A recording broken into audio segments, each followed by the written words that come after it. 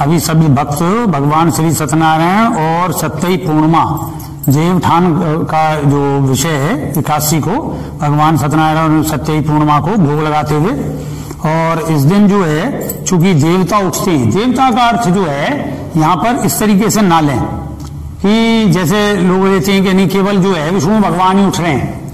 ये प्रकृति और पुरुष की आराधना है। इस दिन पुरुष जो था, जो प्रकृति है, वो उसको जगाती है। अपनी आकर्षण शक्ति से। तो वो पुरुष उठता है और वो चार महीने, अब ऐसे लगेगा जैसे भगवान चार महीने से सो रहे तो फिर प्रकृति के काम कौन कर रहे?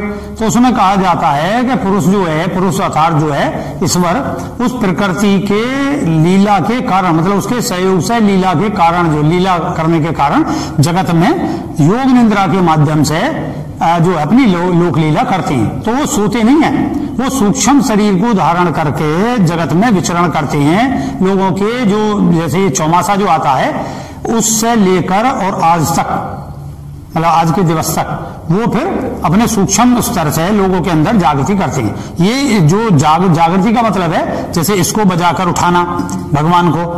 तो उससे क्या होता है ये नहीं कि इन सब चीज़ से ये एक नांद का प्रतीक है ये नांद का प्रतीक है जैसे के पास डमरू है और कहीं ना संख है तो ये समाज में एक प्रकार का बर्तन को, बर्तन पर सजा कर ये सब चीज़ भगवान और बर्तन को बजाकर जागृति प्रदान करी जाती है भगवान को। और उस समय के जो मौसम के ये फल हैं और जो मतलब फल, फूल और वगैरह जो गुण हैं, ये सब भगवान को भोग अर्पित करा जाता है। ये इस तरीके से।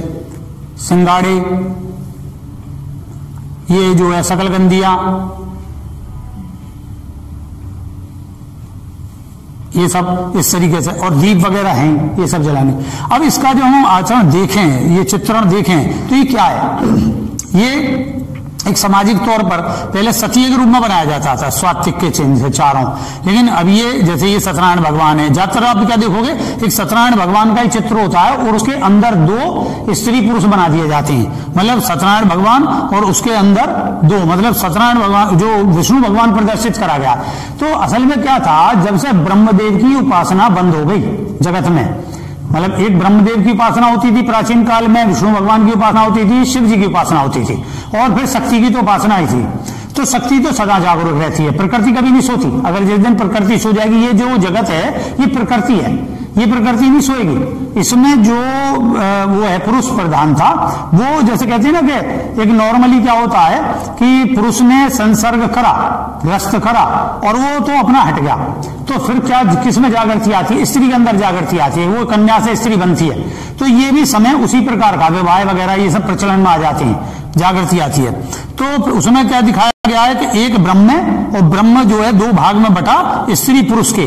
फिर उससे ये सृष्टि हुई। जीव, जंतु वगैरह ये सब जो पैर बनाए जाते हैं वगैरह, ये सब जीव और तरह तरह के जो पाए, ये सब भिन्न भिन्न प्रकार के वृक्ष, ये सब बनाए जाते हैं। और ये पंच तत्व ये पंच तत्व, चाँद, तारे, सूरज, ये सब इस तरीके के बनाए जाते हैं जिससे, और ये सब विस्तार का प्रतीक होता है। अब लोगों को पता है नहीं, वो बस एक चित्र लाए, लगा दिया, और उसमें उन्हें यही पता नहीं एक ऐसे तो एक पुरुष की आराधना हो गई यहाँ चूँकि मेरा सत्यासी मिशन के द्वारा स्त्री पुरुष की समानता का वर्णन है तो उसमें मैंने ये चीज़ निर्मित कराई है कि तो सहज स्वरूप में सब भक्त आए, मैं बोला, भाई, आज जो है देवठान एकादशी है, आप जो है एक चित्रण बनाइए और मैं इसको फिर थोड़ा सा लोगों के लिए एक्सप्लेन करता हूँ।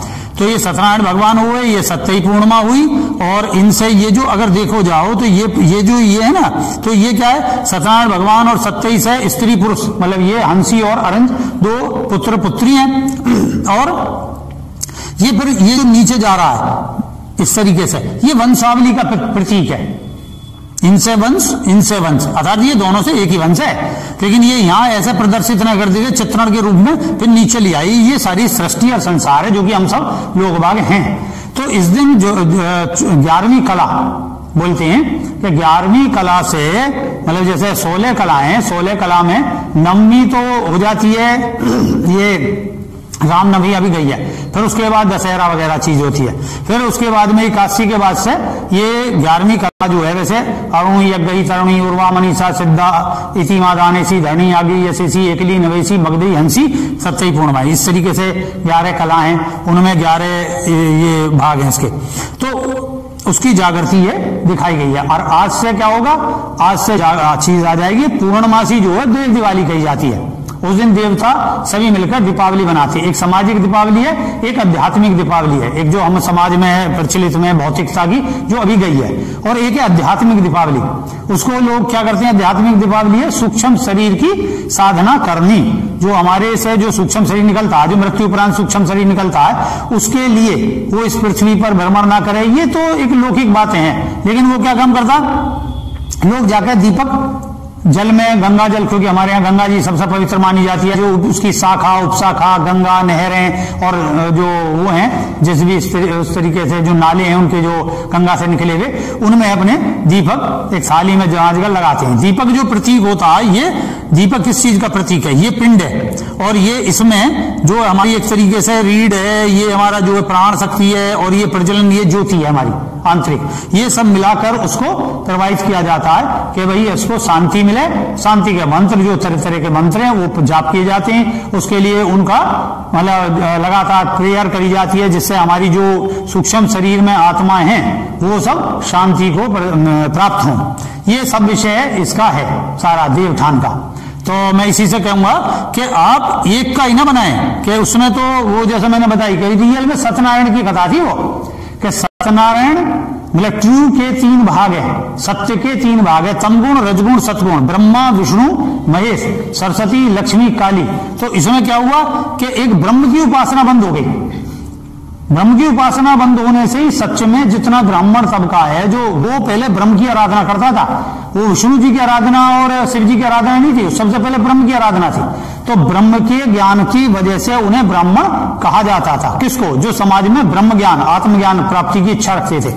विष्णु भगवान का जो ज्ञान है, वो क्रिया का है। मतलब संसार में जो ये घर गृहस्थ और रिलेशनशिप्स हैं संबंध हैं, ये विष्णु भगवान था शिव जो हैं, वो मोक्ष और उसके हैं मतलब मोक्ष के देवता हैं। क्या वो जब जो जैसे कहते हैं ना, ब्रह्म से चीज़ जागृति हुई, ग्रस्त हुआ, ग्रस्त के बाद तीसरी अवस्था, जैसे है ना, ब्रह्मचर्य, ग्रस्त, वानप्रस्थ और संन्यास। वानप्रस्थ और संन्यास, वो शिव से संबंधित हो गए।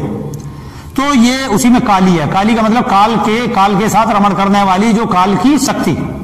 तो वो चलेगी इसलिए मोक्ष उसके विषय में। तो ये जब ब्रह्म की मैंने पहले ही बताई जैसे ब्रह्म की उपासना बढ़ेगी तो विष्णु भगवान का वर्चस्व बढ़ा भारत में। विष्णु भगवान और शिव का, दो बार, दो पार्ट में बट गए, उत्तरायण और दक्षिणायन तो इस विषय को लेकर इसमें तो बहुत विस्तार से बातें हैं, और वो ब्रह्म की उपासना बंद हो गई। नतीजा क्या हुआ? दो भाग में बट गए, और ये सब एक तरीके से ब्रह्मा, वो विष्णु विष्णु भगवान दिखा दिए गए, महाविष्णु के रूप में, और उनके अंदर ये दिखा दी गई। स्त्री और पुरुष।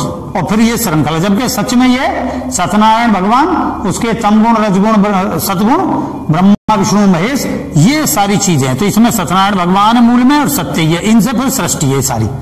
तो इसी को कहते हुए सभी के देवठान निकासी की शुभकामनाओं के साथ, सभी भक्तों को अपने घर में अभी इस तरीके चित्रण के साथ मनाएँ। जय सत्यम सिद्धायन में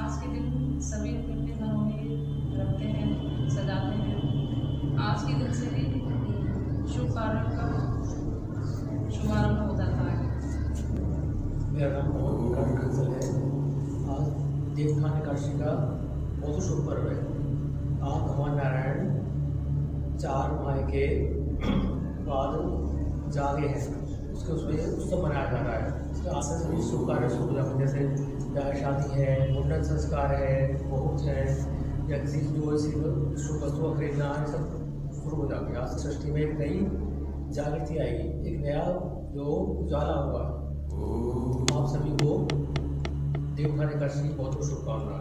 जय सत्यम जता मेरा नाम सीमा देवता काशी है और दिन में आज के आज से सब कार्य शुरू हो जाते हैं। जैसे शादी ब्याह है मंगल संस्कार है बोल दीजिए। जय सत्यम सत्यानंद। है मेरा नाम मनमोहन वर्मा है। आज देवता एकादशी के पावन पर्व पर सभी को हार्दिक शुभकामनाएँ।